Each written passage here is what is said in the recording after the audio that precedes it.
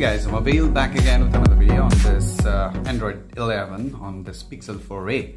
I've already done a video on this uh, explaining all the you know new features that have come to this Pixel 4a with Android 11.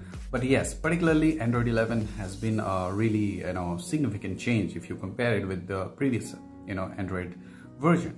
Particularly there are certain changes and there are certain additions. So in this video, I'm going to talk about one change and one addition. So before we start, if you're new to my channel, then do hit the subscribe button to watch more videos. And if you've already subscribed, a big thank you to all of you guys. So let's get started. Now, the very first thing is that how to take screenshot. Now, this is a change. Okay, now what you have to do, suppose uh, this window is open. Okay, now let me show you this. Okay, now if I want to take a screenshot here, what I have to do is simply, you know, slide it up like this and hold a bit. And after that, you can see the screenshot option here.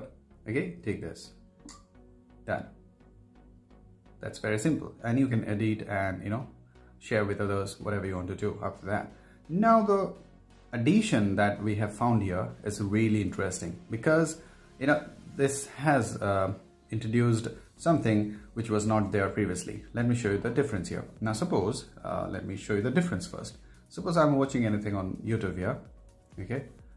Uh, for example and NCS okay suppose this is the video that I'm watching.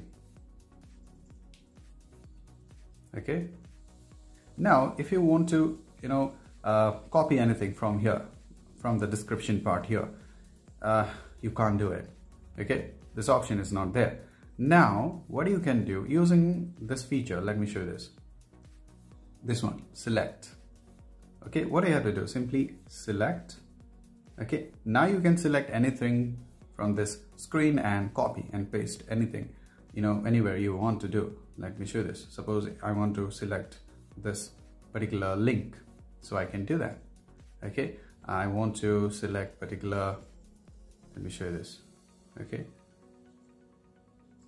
Done. Now for example I want to copy this whole section here okay? Simply drag it up hold and select okay? Done. Now simply select like this and copy and paste wherever you want to have it okay? So this is really uh, interesting according to me because this feature was not available with Android 10 and this also works uh, let me show this in the system okay? Now suppose you're here okay? And if you want to copy any text here. You can do this here as well. So this is really helpful if you want to use it.